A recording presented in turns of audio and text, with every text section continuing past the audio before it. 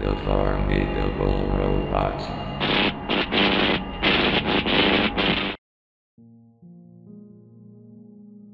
On February 18th, the Walt Disney Company organized a marathon airing reruns of the 2018 reboot of Muppet Babies called The Muppet Babies Party-thon.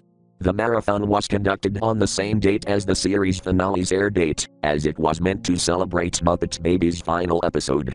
There were reruns of random episodes from all four seasons of the show. The marathon was intended to last for two weeks after the series finale of Muppet Babies aired. However, a day after the marathon began, viewers reported that episodes were skipping and the quality for some episodes dropped.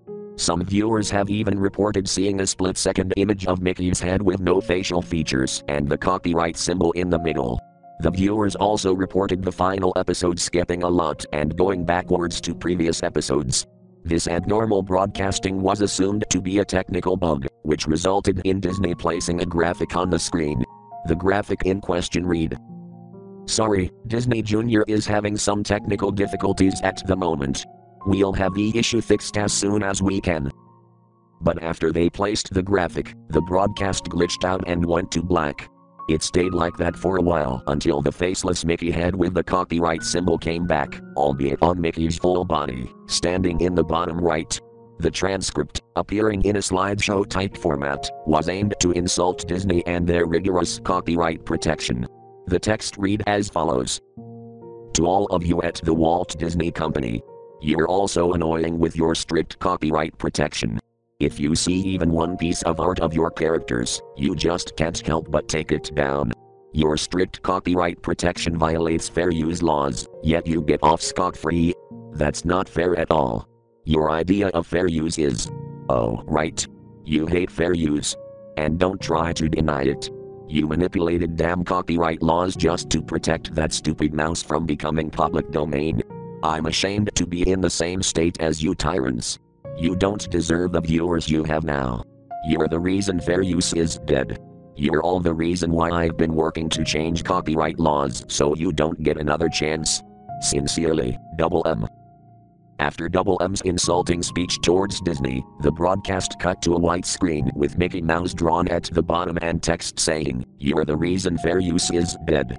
After which the broadcast cut to black again, followed by recording of what could be Double M's voice ranting about something, but because of the low quality of the audio, it was difficult to make out what was being said, or if it was even Double M at all.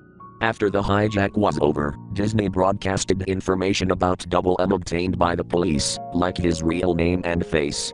Double M was actually initials for Michael Miller.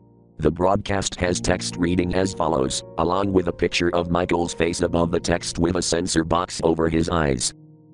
Double M, real name Michael Miller, hijacked Disney Jr. with the intent of making Disney look bad.